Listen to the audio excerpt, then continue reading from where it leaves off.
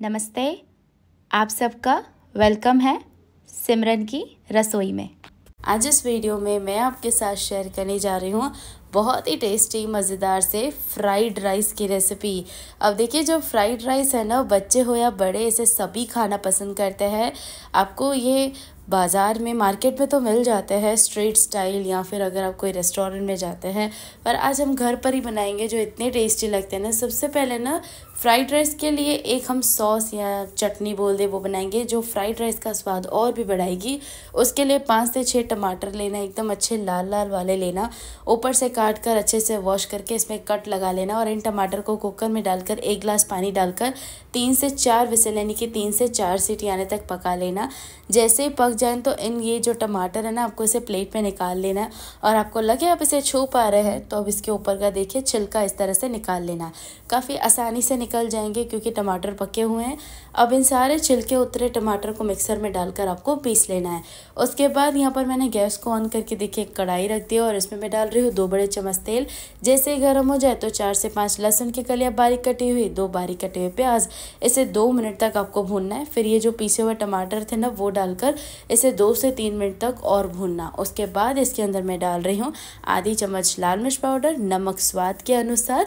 आधी चम्मच इसके अंदर मैंने डाल दिया सिरका यानी कि वाइट विनेगर एक चम्मच सोया सॉस और आधी चम्मच टोमेटो केचप और इन सबको अच्छे से मिक्स करना है, फिर इसके अंदर थोड़े से ऑरिगेनो और चिली फ्लेक्स डाल देने हैं और लगभग इसे चार से पाँच मिनट के लिए अच्छे से पकाना है।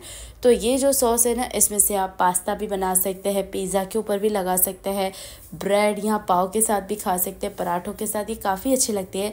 देखिए, पाँच से छः मिनट हो जाए ना तो चुटकी भर चीनी डाल देना, इससे मीठी नहीं होगी, सारी चीज़ें बैलेंस में आ जाएगी। बनकर तैयार है ये सॉस या फिर चटनी बोल दे। अब ये जैसे ही ठंडी हो जाए ना तो इस तरह से एक जार में भर कर रख सकते हैं। एक महीने तक आप इसे फ्रिज में रख सकते हैं और स्टोर कर सकते हैं और इन सभी चीज़ों के साथ खा सकते हैं, जो मैंने आपको बताई। इसमें से हम फ्राइड राइस बनाएँगे, उसके लिए कढ़ाई में मैंने डाल दिया एक चम्मच तेल, दो से तीन लहसुन की कलियों को बारीक काट कर डाल दिया, इसे हल्का सा भून लेंगे। उसके बाद इसके अंदर मैंने एक बारीक कटा हुआ प्याज डाल दिया, और इसे भी हमें भूनना है। इस फ्राइड राइस को ना आपको तेज़ आँच पर इनकी हाई फ्लेम पर ही पकाना है। देखिए, प्याज को भूनने के बाद ना दो बारीक कटी हरी मिर्ची और एक कप पत्ता गोभी मैंने ले लिए जिसे एकदम बारीक काट लिया है। तो बस वो भी डाल देंगे और इसे भी अच्छे से भूनेंगे। और इसके बाद ना एक शिमला मिर्च बारीक कटा हो ऐसे भी डालेंगे और ऐसे भी भुनेंगे। सारी सब्जियों को ना हमें क्रंची रखना है, एकदम गलाना नहीं है तो तेज़ आँच पर ही इसे बस अच्छे से भूनते जाना। अब देखिए, इस तरह से करने के बाद ना, इसके अंदर मैं डाल रही हूँ आधी छोटी चम्मच लाल मिर्च पाउडर, नमक स्वाद के अनुसार, एक चम्मच सोया सॉस, आधी चम्मच इसके अंदर वाइट विनेगर और एक चम्मच इसके अंदर हम रेड चिली सॉस डालेंगे, एक चम्मच टोमेटो केचप मैंने डाल दी है और बस इन सबको हमें अच्छे से देखिए, इस तरह से मिक्स करना है। मिक्स करने के बाद जो हमने सॉस बना के रखी थी ना, या फिर चटनी बोल दो, बस वो इसके अंदर आपको डालनी है, दो से तीन चम्मच जितनी और बस अच्छे से इसे मिक्स कर लेना है। यहाँ पर आप देखिए, इस तरह से मिक्स करने के बाद अब इसके अंदर आपको डालना है चावल। पके हुए चावल है, ये प्लेन वाइट राइस है, जो हम दाल वगैरह के साथ बनाते हैं, दाल कड़ी वगैरह के साथ।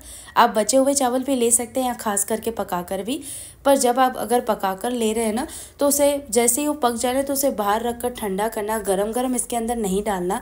तो मैंने यहाँ पर पके हुए चावल लगभग दो से तीन कप जितने डाले हैं और बस अच्छे से मिक्स करती जा रही हूँ। तो ये बढ़िया से फ्राइड राइस बनकर तैयार है, जो बच्चों से लेकर बड़ों तक को पसंद आएँगे। और इसका स्वाद इतना बढ़िया है, इतना बढ़िया है ना तो एक बार आप इसे घर पर ज़रूर ट्राई करना। और हाँ इसे ट्राई करके मुझे कमेंट्स बताना कैसी लगी रेसिपी और चैनल को सब्सक्राइब करना ना भूले। Thank you for watching